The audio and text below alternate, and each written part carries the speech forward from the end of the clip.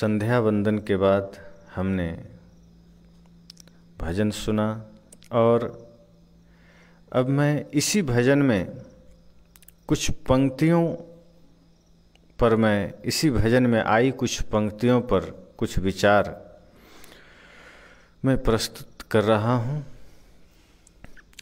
बहुत ही गजब की बात, वैसे यह भजन की रचना हमारे दिवंगत फणिभूषण जी महाराज, जो कि जमालपुर मुंगेर के थे, उन्होंने की थी बड़ा ही गहरा संदेश है उनके इस रचना में।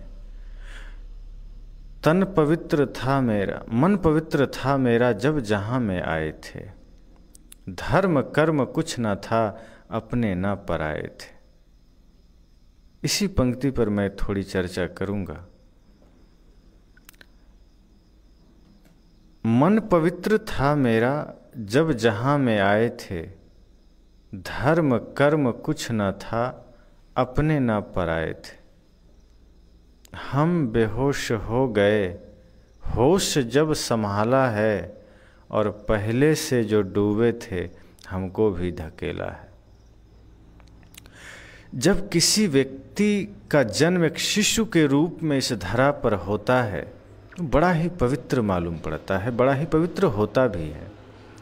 पूर्व के सारे संस्कार उस वक्त यद्यपि उसके भीतर होते हैं, लेकिन इस जन्म में वो कोरा होता है। इस जन्म का कोई संस्कार उस पर होता नहीं है। न उस वक्त उसे हिंदू होने का ज्ञान है, न मुस्लिम होने का ज्ञान है, न धनी होने का ज्ञान है, न भिखारी होने का ज्ञान है। न चोरी, ना छल, ना प्रपंच, ना झूठ, ना निंदा, ना शिकायत, ना चुगली, कुछ भी नहीं। कोरा इंसान के रूप में वो धरती पर आता है। उसकी मासूमियत आप देखेंगे, इतनी सौम्यता, इतनी दिव्यता शिशु के आँखों में, उसके चेहरे पर, उसके जीवन में कि देखते मन करता है, देखते रहें। इसलिए बच्चों को भगवान कहा गया, शिशु को भगवान कहा गया। क्योंकि मन में कोई छल नहीं है, मन में कोई कपट नहीं है, पवित्र है मन। धीरे धीरे बड़ा होता जाता है, संगत बदलती जाती है और जीवन की रंगत बदलती चली जाती है। मन पवित्र था मेरा जब जहाँ में आए थे। जब जहाँ में आए थे, संसार में आए थे, मन पवित्र था भगवान की तरह। उसे भगवान का दर्जा मिला। बच्चे तो भगवान के रूप होते हैं। लोगों ने कहा, बच्चे तो भगवान के रूप होते हैं। और ये बात सच है। छोटे बच्चे को देखकर हर किसी का मन होता है, इसे हम प्यार करें, खिलाएँ, गोद में ले लें। क्योंकि मासूमियत है, सौम्यता है, प्रसन्नता है, निश्चलता है, निष्कपट भाव है, कोई कपट नहीं है। और जिसके मन में कोई कपट ना हो, जिसके चेहरे पर कोई छल ना हो, फिर वो तो सबका प्यारा होता है। इतनी दिव्यता के साथ हम इस धरती पर आते हैं, इतनी निर्मलता के साथ हम इस धरती पर आते हैं, लेकिन होता क्या है? मन पवित्र था मेरा जब जहाँ में आए थे, धर्म कर्म कुछ ना था, अपने ना पर आए थे। और उस वक्त धर्म भी नहीं है, कर्म भी नहीं है। क्योंकि धर्म कर्म की आवश्यकता ही तब पड़ती है जब हम अधर्म करते हैं, कोई कर्म करते हैं। उसमें कुछ भी नहीं है, बिल्कुल हम कोरा हैं। अपने ना पराए थे, अपना भी नहीं है, पराया भी नहीं। दोस्त भी नहीं है, दुश्मन भी नहीं है, ना काहू से दोस्ती, ना काहू से बैर। सदगुरु कबीर कहते हैं, किसी से दोस्ती नहीं तो किसी से दुश्मनी नहीं। तो जब जन्म लेकर कोई शिशु इस धरती पर आता है तो अपने ना पराए। लेकिन फिर उसकी यात्रा आरंभ होती है माता पिता परिवार के सभी लोगों के साथ। और होता क्या है? हम बेहोश हो गए, होश जब संभाला है। हम बेहोश हो गए, होश जब संभाला है। बड़ी ही गहरी बात है। अक्सर हम कहते हैं, लोग कहते हैं कि बच्चा अब धीरे धीरे होश संभाल रहा है, बड़ा हो रहा है, अब यह होश में आ रहा है। लेकिन इसमें कहा गया, हम बेहोश हो गए, होश जब संभाला है। कि जब लोग कहते हैं कि होश संभाला है, जब लोग कहते हैं कि अब यह बड़ा हो गया है तो वस्तुतः वह बेहोश हो रहा है, बल्कि बेहोश हो गया है।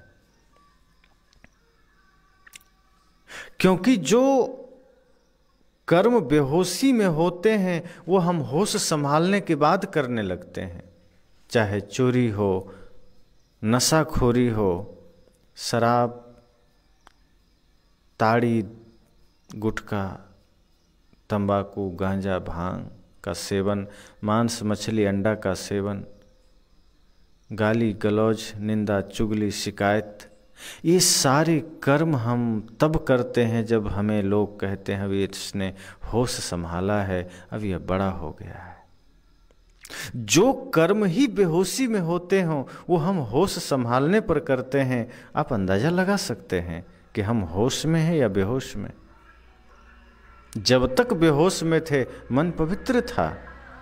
जब तक बेहोश में थे, तब तक मन निश्चल था।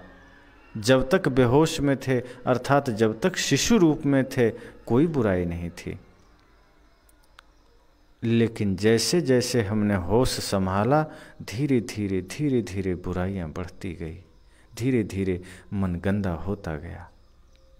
सदगुरु कबीर अपने भजन में कहते हैं चदरिया झीनी रे झीनी। सदगुरु कबीर एक रास्ता भी देते हैं कि कोई बात नहीं। बड़े होते गए, संगत बदलती गई, रंगत चढ़ती गई। कोई बात नहीं, चिंता मत कर। लोग जितने भी इस धरा पर आए, चाहे वह आध्यात्मिक क्षेत्र में अपनी श्रेष्ठता को पाए, कभी न कभी, किसी न किसी कारण बस जीवन में दाग लगा। लेकिन इसका मतलब ये नहीं है कि रास्ता नहीं है। सदगुरु कबीर कहते हैं ध्रुव प्रहलाद सुदामन ओढ़ी। सुखदेव ने निर्मल की नी चदरिया सुखदेव ने निर्मल कीनी दास कबीर ने ऐसी ओढ़ी। दास कबीर ने ऐसी ओढ़ी, ज्यों की त्यों धर दीनी चदरिया। झीनी रे झीनी, के राम नाम रस भीनी चदरिया। झीनी रे झीनी। सदगुरु कबीर कहते हैं, इस चादर को ध्रुव ने भी ओढ़ा, प्रहलाद ने भी ओढ़ा, सुदामा ने भी ओढ़ा, लेकिन ओढ़ करके निर्मल किया। कोई दाग अगर लग गया, उस दाग को उसने छुड़ाया। गुरु धोबी से इसका पड़ा। गुरु रूपी धोबी के पास जाकर अपने कपड़े को उसने धोया। मन को धोया और साहब कहते हैं, मैंने तो इस चादर को ऐसा ओढ़ा कि ज्यों की त्यों धर देनी प्रकृति ने हमें जैसा दिया था, मैंने वैसा लौटा दिया। मैंने इस चादर को दाग ही न लगने दिया।